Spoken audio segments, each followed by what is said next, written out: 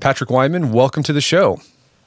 Hey, thank you very much for having me on. So, uh, you have a podcast that's come out fairly recently. I'm not sure how you discovered it originally. It's called The Fall of Rome, but I'm glad I did because it's completely fascinating. You're taking listeners through the history of the fall of the Roman Empire.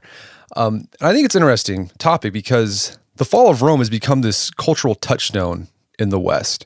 Um, and it's used as a warning for what can happen to a society as it gets off the right track. I'm curious, what do you, why do you think the fall of Rome has become such an indelible part of our cultural consciousness? Why are we always thinking about it? Well, I think that there are a number of different dimensions to this. Um, so I think in a historical sense, it goes back to the kind of structure of Western education in the 18th and 19th centuries and the heavy emphasis on the classics and the tendency of the educated classes in uh, France and especially in uh, and especially in Great Britain to see themselves as the heirs of Rome.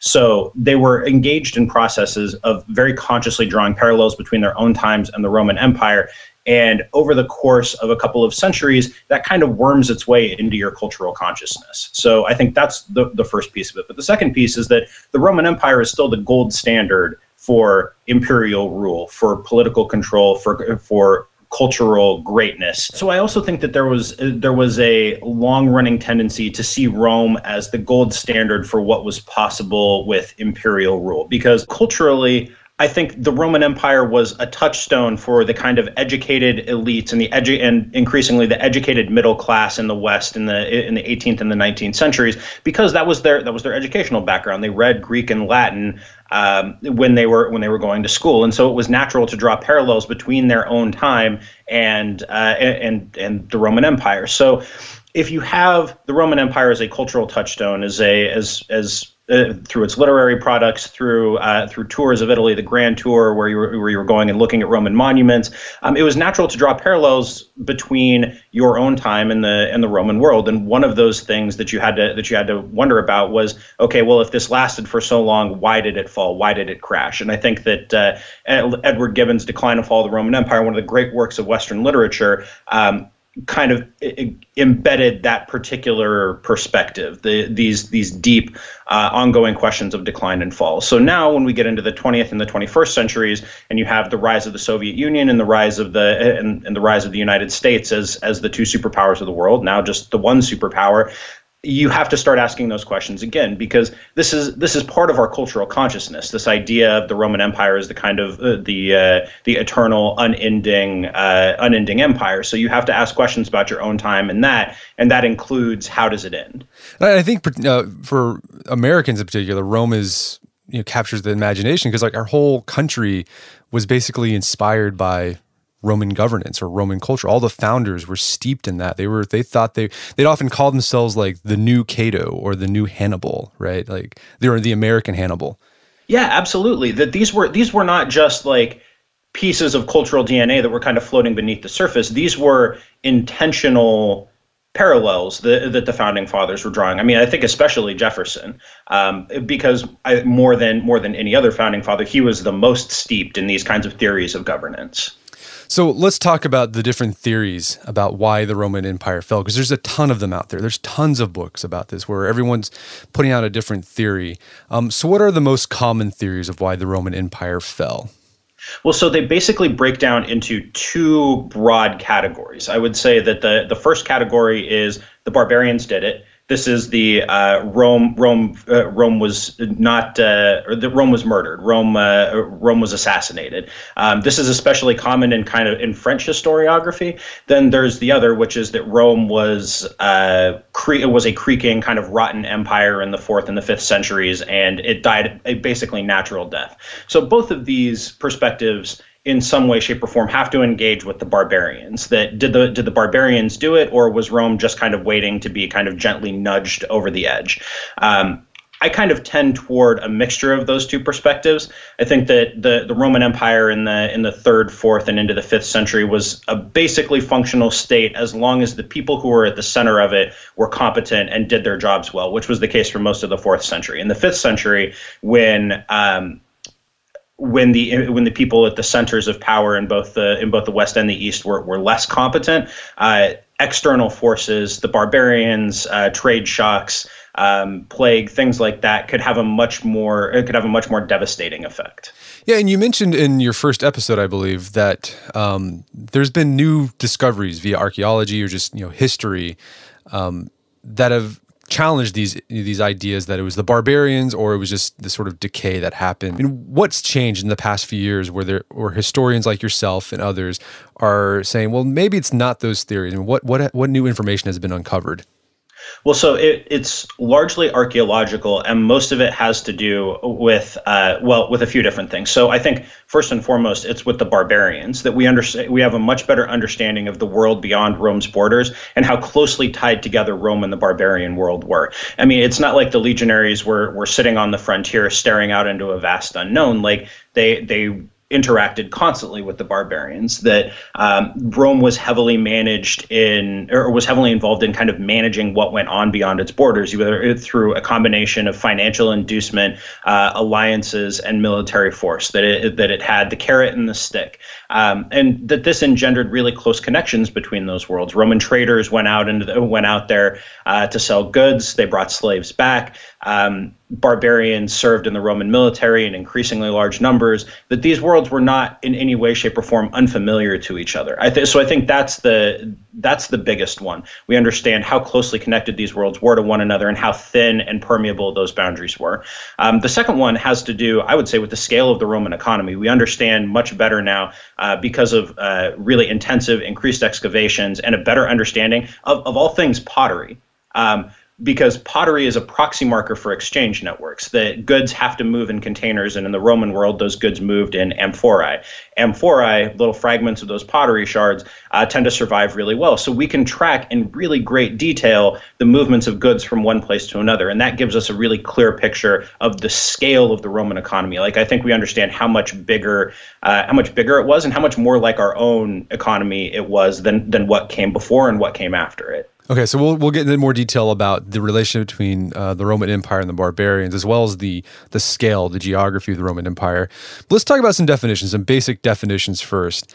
Um, what exactly do we mean when we say the Roman Empire fell? Because I, we throw that around word around quite a bit, but I I think most of us, most people have a vague idea of what it means. We know the Roman Empire doesn't exist anymore, um, but what did what do we mean it fell? Like what what was the process that went on? So that's this is I, I, was kind of remiss in answering your question about how views of these things have changed earlier but this is this is the big thing. What do we what do we mean when we talk about the fall of rome? Um, so it used to be that people thought that people thought in terms of a really drastic decline, and the kind of pushback against that in scholarly circles has has been to treat this as a transformation. To say that instead of looking at looking at these series of interlocking things that happened as as a drastic decline and a drastic fall, um, because that implies a value judgment, to say that no, just things changed. I mean, I think that goes a little bit too far with it. Um, I think that it's possible to it's possible to overstate the case. I think that mater- in material terms and in terms of quality of life, in a lot of places, things really did get worse.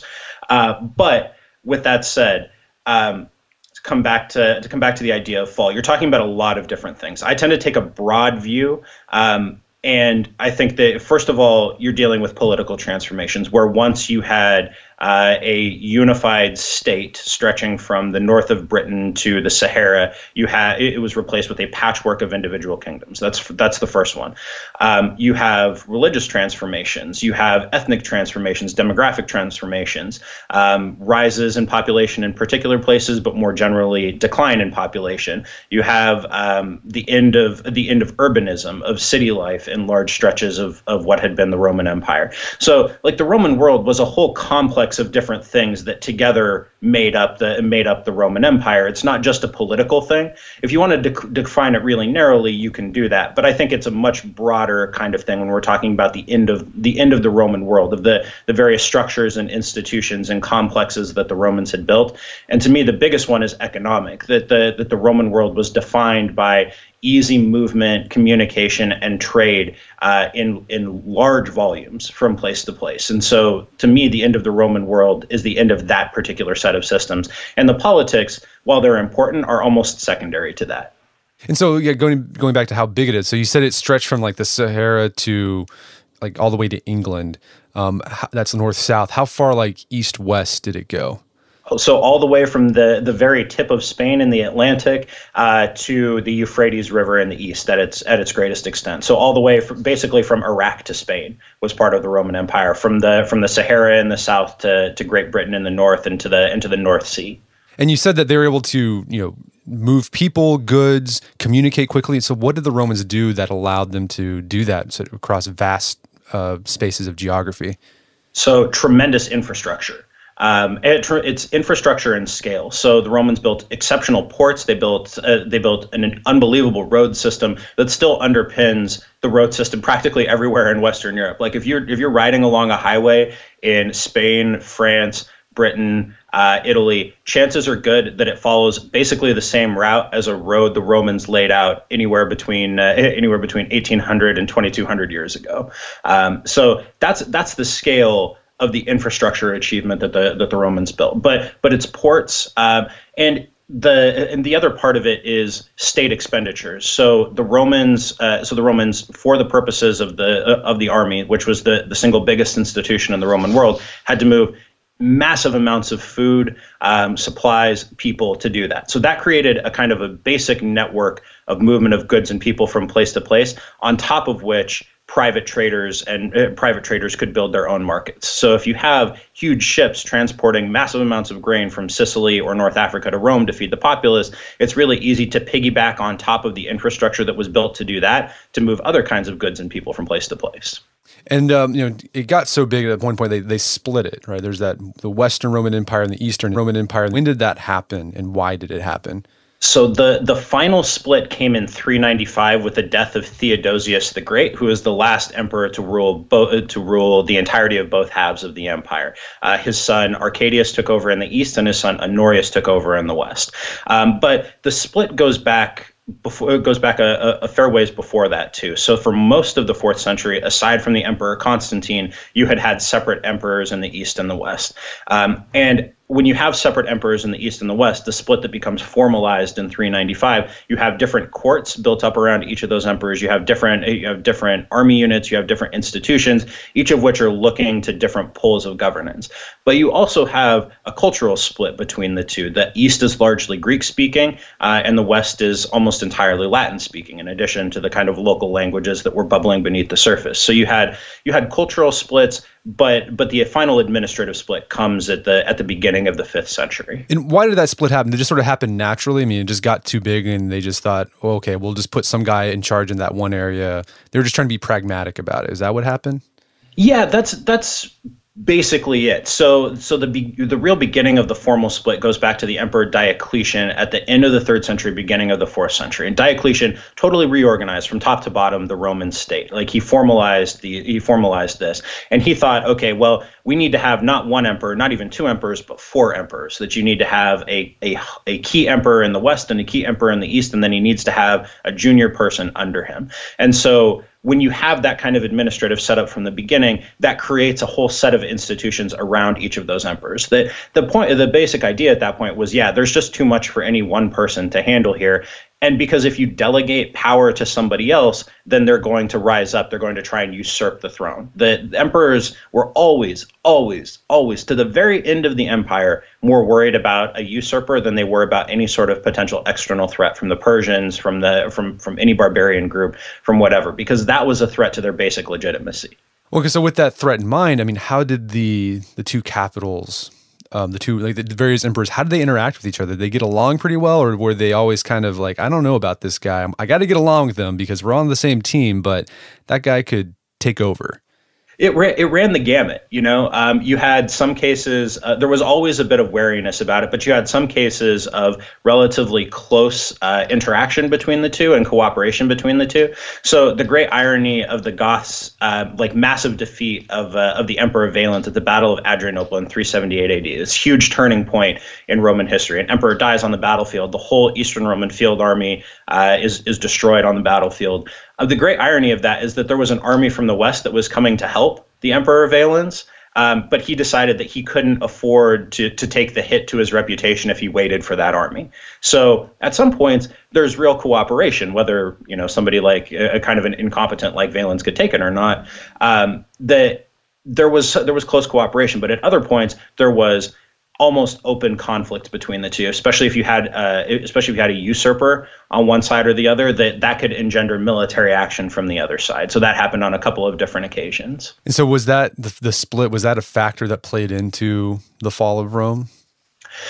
Yeah, because the East was generally wealthier um, and its institutions were were kind of better grounded. Uh, and also, just kind of by pure luck, over the course of the fifth century, the East managed to find some some really competent people to help run things. Where in the West, those people just never really those people just never really showed up. Um, there was the West was always poor, and it was always home to more usurpations. So it was easier for pieces of the Western Empire to get kind of carved out.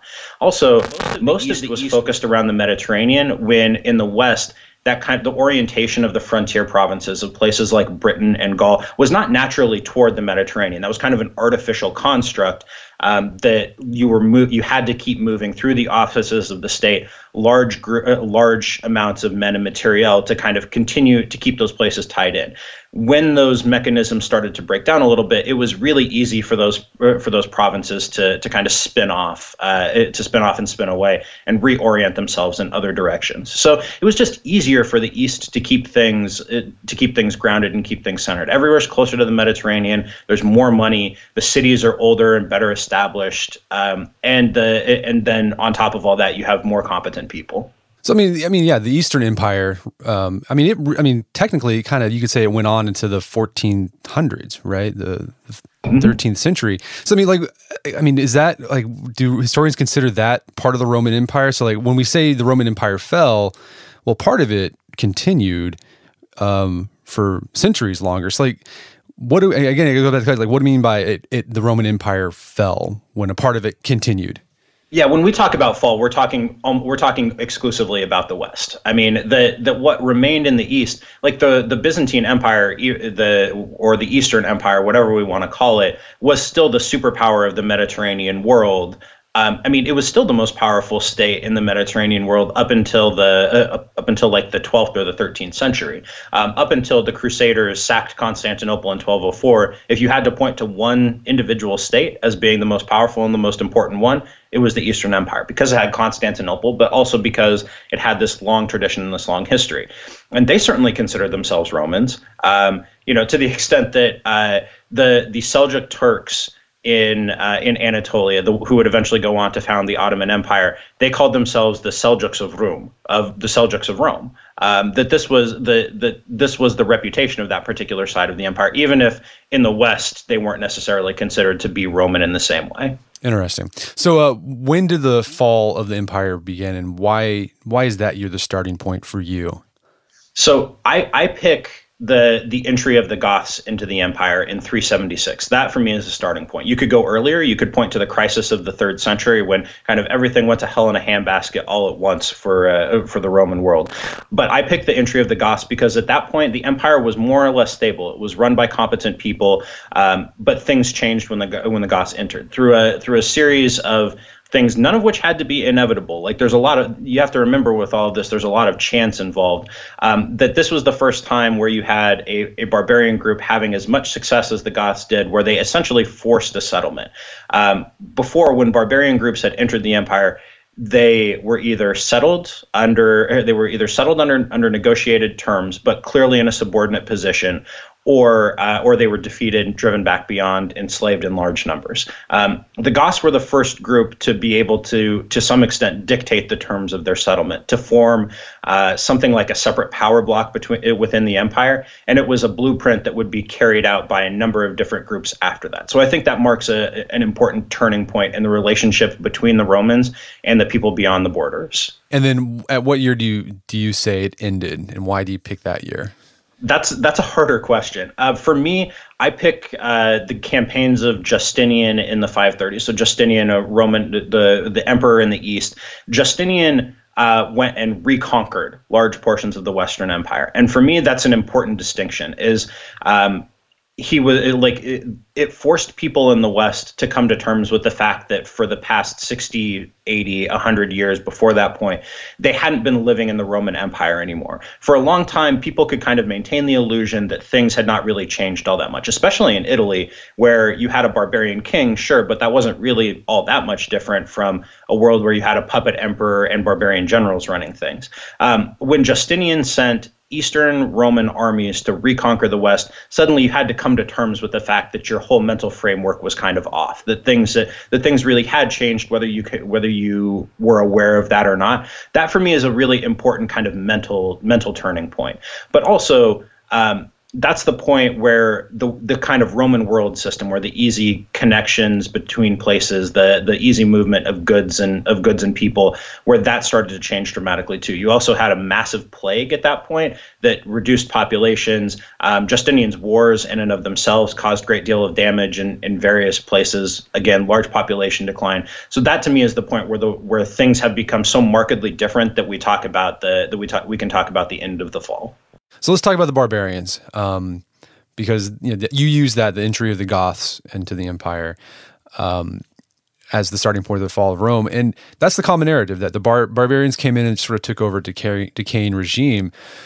But what what were the barbarians like? Because I think a lot of people when they, they hear the word barbarian, they imagine like guys wearing like eating you know meat off a bone, um, you know wearing you know wolf you know helmets or whatever on their head. I mean, so were they sort of these brutes, or were they actually they actually have a very sophisticated culture?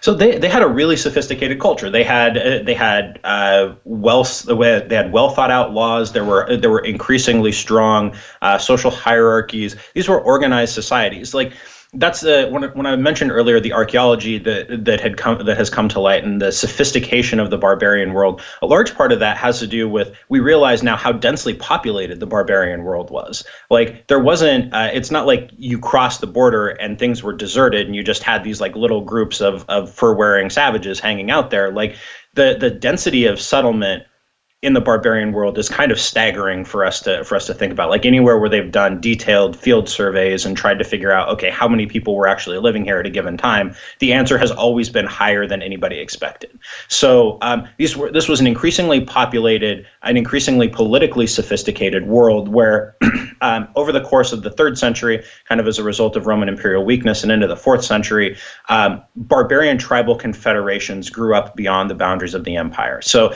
i mentioned before how the Romans had gone about managing the world beyond their borders. And the way that they did that was to try to prevent any one king, any one tribal chieftain from becoming too powerful. So you would subsidize some, you would attack others, uh, you would try and you would try and uh, co-opt uh, still others by bringing their children into the empire um, or offering them ranks, titles, things like that in the third century, when Roman attention was kind of focused inward, it allowed the, the barbarian groups beyond the borders to become more powerful than they had ever been before. It allowed them to organize in the absence of Roman attention uh, into larger, much more powerful confederations. So, this is when we first start to see groups like the Franks, the Alemanni, and above all, the Goths. This is when they appear in the sources, and they appear in a context of Roman imperial weakness and, uh, and diverted attention.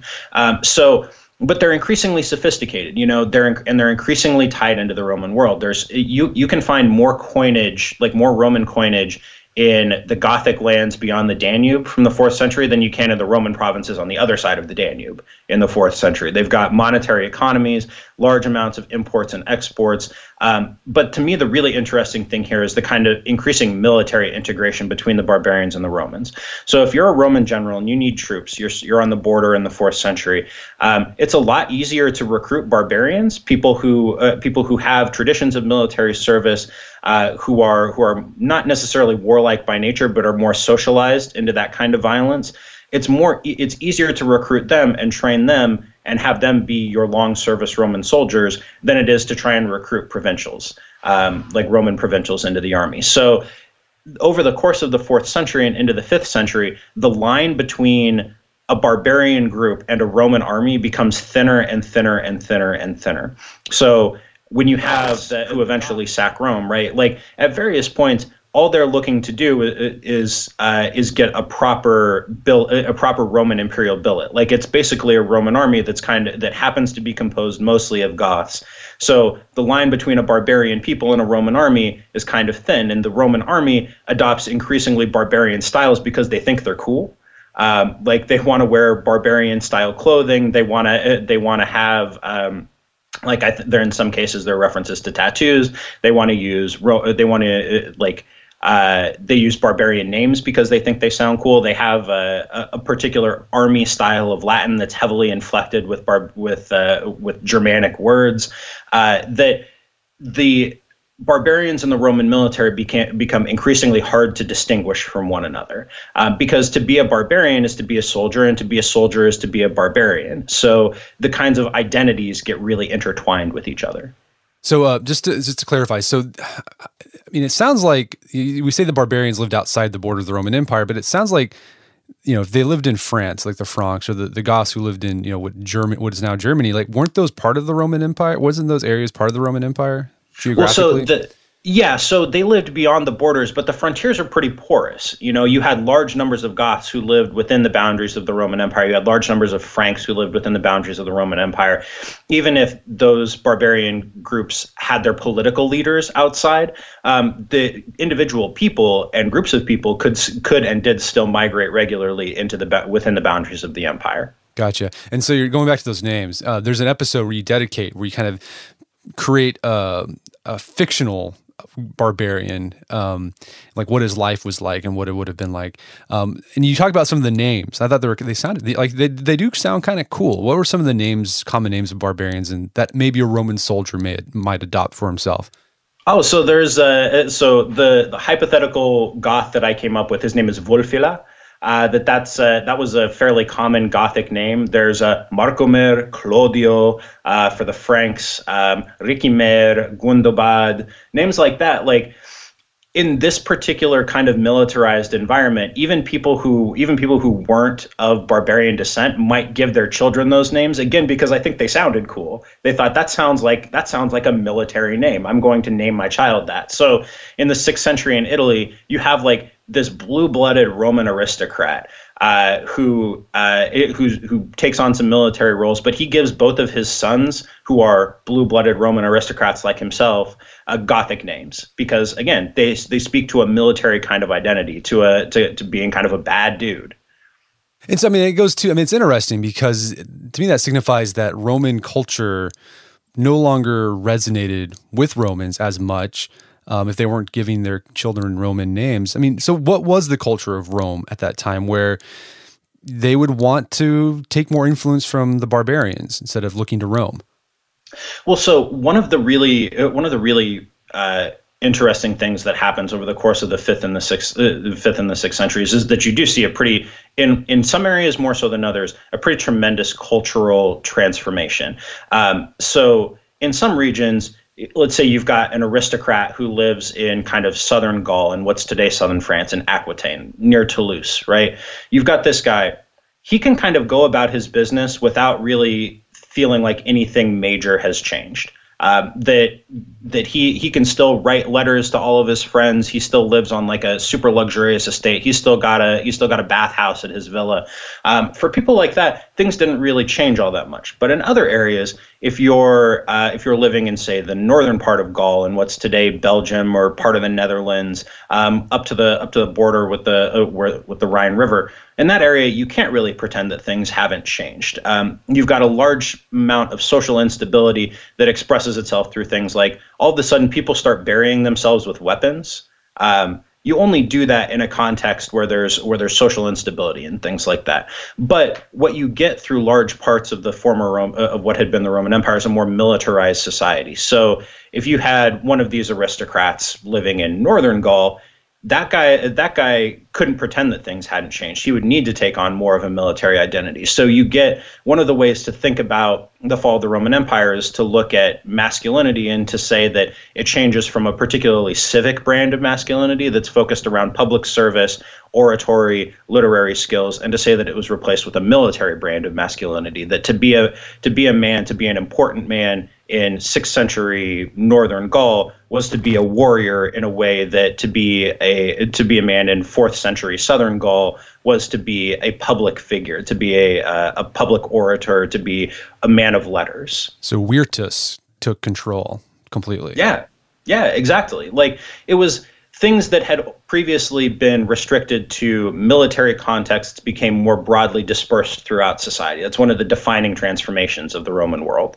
And what's interesting you talk about in the podcast too is that not only were the Romans being influenced by the by the barbarians culturally, but the barbarians as well were taking on some of these Roman cultural um, manifestations. Like you talk about how these barbarian kings would have Roman type villas made of logs in in their uh, in their kingdom wherever they lived. So, I mean, what other ways were the barbarians taking on uh, Roman cultural um, I don't know status marker markers or social markers?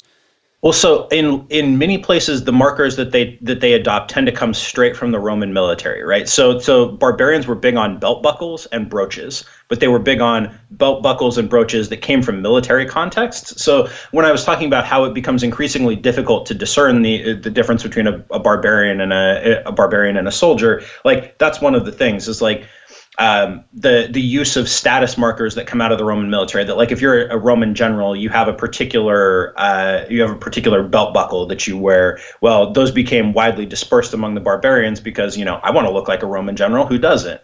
Um, but also in in kind of broader terms, for the most part, you have barbarians uh, giving up their own languages and speaking Latin. Um, like there's no evidence of the Visigoths, right? Who the Visigoths who had entered the Roman Empire in 376, who sacked Rome in 410, who eventually settle in, in southern France and then in Spain. There's basically no evidence for the Visigoths speaking Gothic after about after uh, uh, after they were settled within the Roman Empire. Basically none. They spoke, as far as I can tell, they spoke Latin. Um, that's one example. Archaeologically, a bunch of these groups are just invisible there's no sense that they were that they completely adopted Roman material culture. And why wouldn't you? You know, like it's nice to live in villas. It's nice to have bathhouses. Like Roman clothes are comfortable. It's nice to eat off of uh, to, to eat off of like fine ceramic dishware. Um, olive oil tastes really good. Like fish sauce tastes good. Wine tastes good. Um, so like materially, a lot of these groups become completely assimilated. It's impossible to tell any sort of difference between them and the and the Roman population. They just blend in completely. Okay, so let's talk about the the the the Goths coming into Rome because I think the idea that when people think, oh yeah, the Goths came in, they came in with like, we often imagine like they came in with their wooden shields and swords and their pelts and they just like sacked, started killing. But the way you described it, it was more of a a mass migration into the Roman Empire. I mean, why were the Goths wanting to migrate into the Roman Empire? Well, so uh, there are a few things here. We have to bear in mind the closeness of the barbarian world and the Roman world. So there was a long tradition of barbarian groups um, who were fleeing for for whatever reason to seek refuge within the Roman Empire. There was a well uh, a well established process for this called receptio. Um, the Goths who entered in 376 did so because they were fleeing the Huns. Um, the Huns had appeared uh, not exactly out of nowhere. Our sources make it sound like that, but I don't think that's really the case. Um, the a, a nomadic steppe people um, had appeared kind of uh, north of the Black Sea and had uh, inflicted a whole bunch of defeats on uh, the on uh, a, a particular group of Visigoths. So, or on a particular group of Goths. So their response is, well, the Roman world is here. We know that they're always looking for soldiers. We can fight for them as soldiers, and in return, we'll receive safety and land to settle. What's so what's interesting here is it's not like these were unknown groups and like all of a sudden there's a whole bunch of like fur wearing fur wearing barbarians who show up on the shores of the Danube it's that they understood what they were asking for the Romans understood what they were asking for and through accident that process went awry and we end up with a Roman emperor dead on a battlefield. But what's really striking to me is that everybody knew what to expect from this. Everybody knew what they wanted because they were operating within the same kind of cultural reference frames um, for behavior. So, I mean, it sounds like they were refugees in a way. Yeah, basically, and I think a lot of the barbarians who entered the Roman Empire were refugees. Um, we don't. There are a lot of groups that enter the Roman Empire that they're recorded going through one of these receptiones, and then we never hear from them again they just they they're just assimilated. They just blend into the into the background of the roman world. Like which because i mentioned it exerted a tremendous acculturating influence on all of these groups that came in.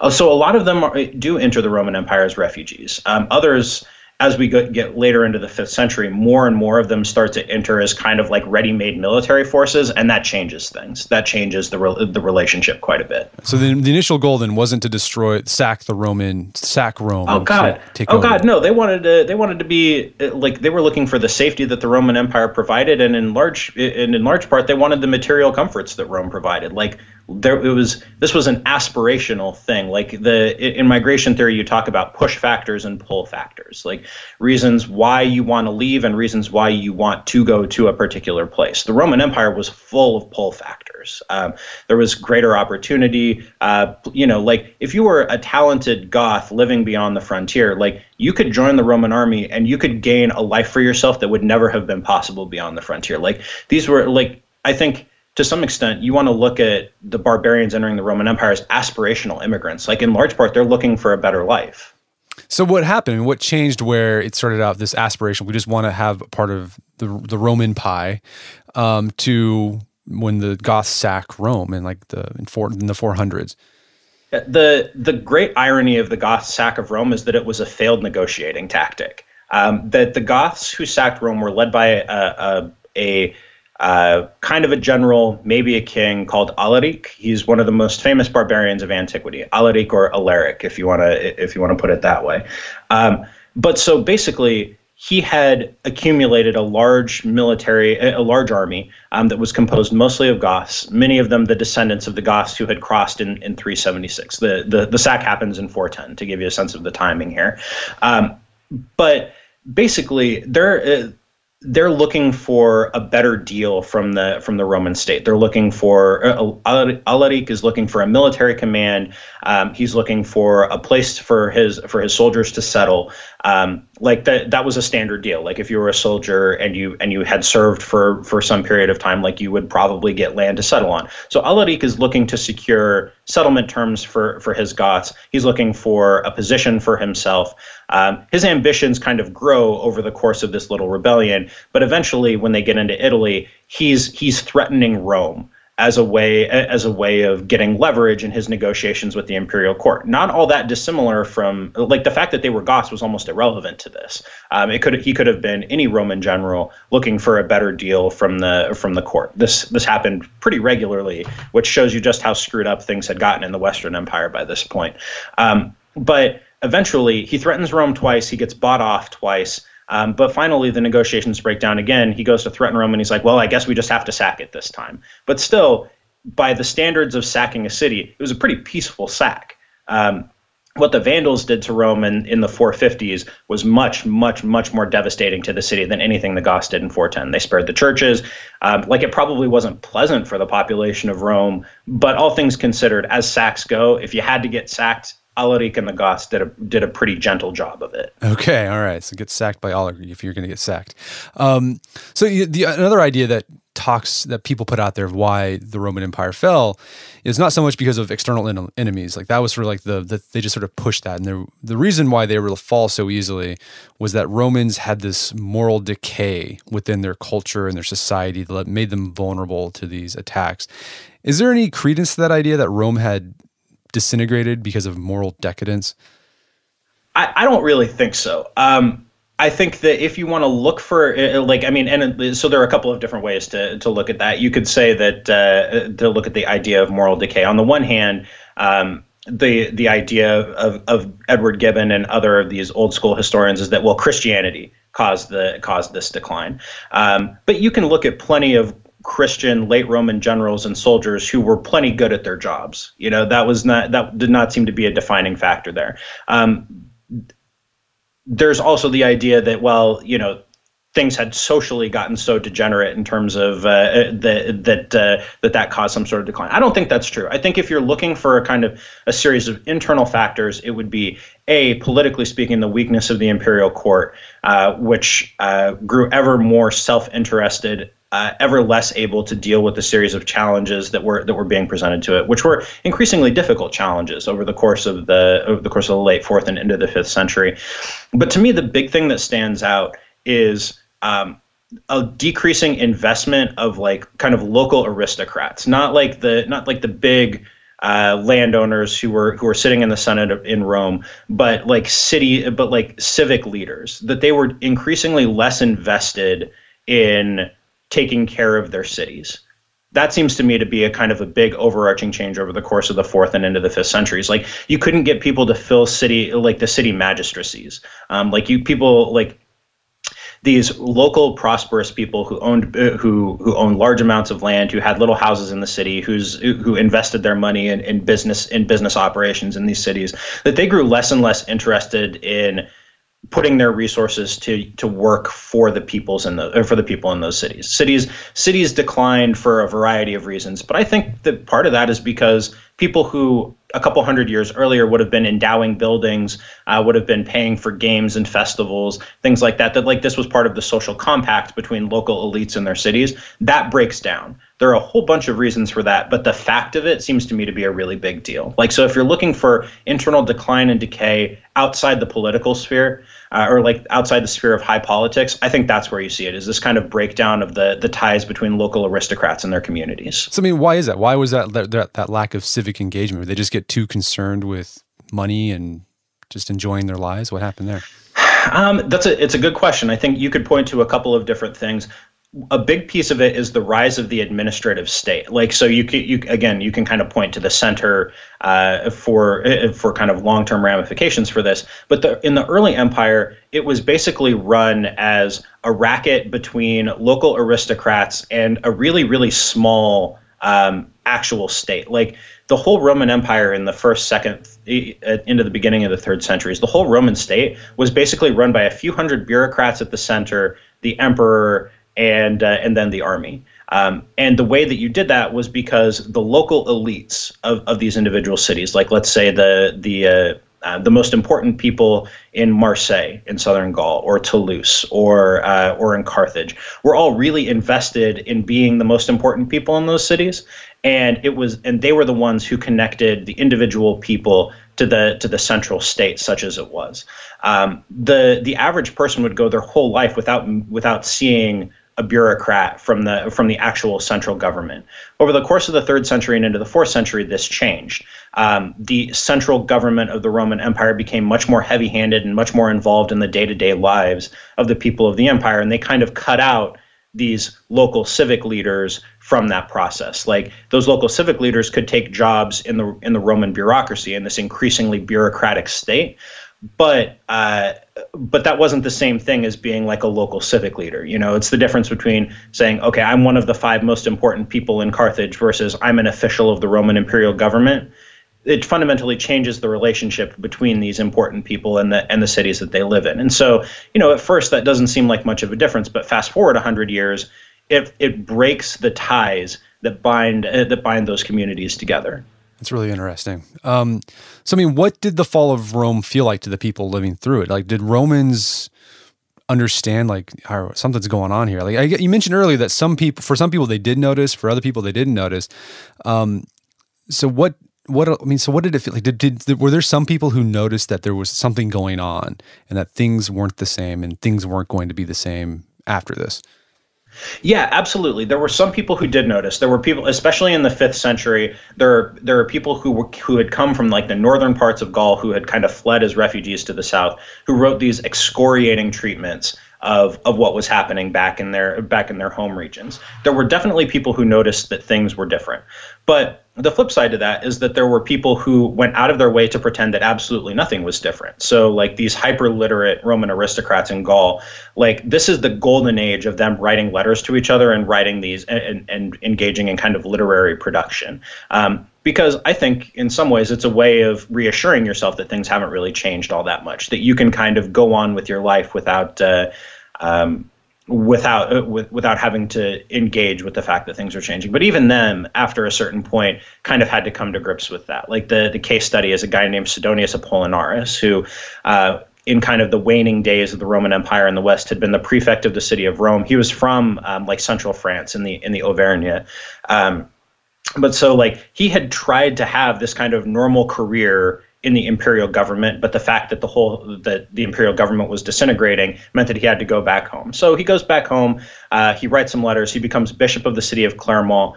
Um, but he's like he's still living like any other Roman aristocrat would have 100 years ago. Eventually, though, the Visigoths come and they try to and they try to take his hometown of Clermont. Um, and at this point, Sidonius, who's a bishop, has to organize the defense of the city from people who are supposed to be allies of uh, of the central imperial government. So there's like a whole process of cognitive dissonance that he has to deal with there, where he has to realize like, oh no, okay, things actually have changed. Um, but still, even into the sixth century in Italy, there are there are aristocrats who are like basically living exactly the same way that they always have. They're reading the same books. They're living on the same estates. Um, social relations haven't really changed at all. They can go to work for what looks a lot like an imperial government if they want to. Like there's a, a guy named Cassiodorus who wrote hundreds of letters for the for the Ostrogothic kings of Italy, and he's basically working just as he would have in an imperial chancery in, in imperial archives hundred years before. You know. Um, but yeah, so some people are aware of it, others aren't. I I think like a merchant who was living in the city of Arles, like on the southern French coast, like right at the mouth of the Rhone, so like this this huge commercial hub. Like I think that guy, if he was born in 450, would not notice any real meaningful change over the course of his life, even if he lived to be 75 or 80. It's interesting, and I think it's interesting too. Um, during this time, we had a, a class this on our podcast a while back ago. Carlin Barton um, who wrote about Roman honor, the concept of Roman honor. And she makes the case that in the late part of the empire, beginning in about uh, like, you know, the 100, you know, year 100 and going on, that Stoicism became really popular amongst the the emperors and the the elite. Um, and she argues that it was because of all this rapid change that was happening within the empire. Do you have any? I mean, do you agree with that sort of hypothesis that Stoicism became sort of the the way the Romans managed themselves psychologically to to counter all the change that was happening happening around them?